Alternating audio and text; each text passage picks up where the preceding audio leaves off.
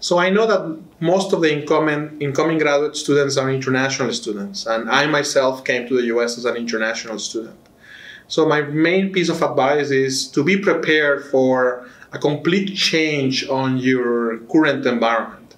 So this is not only a new place, this is a new place with a new weather, with a new educational system, with a new um, environment. So many things are going to change, and be prepared for these uh, for these uh, for these changes. Uh, it's going to be a very interesting. It's an adventure. The the going through it. Yeah.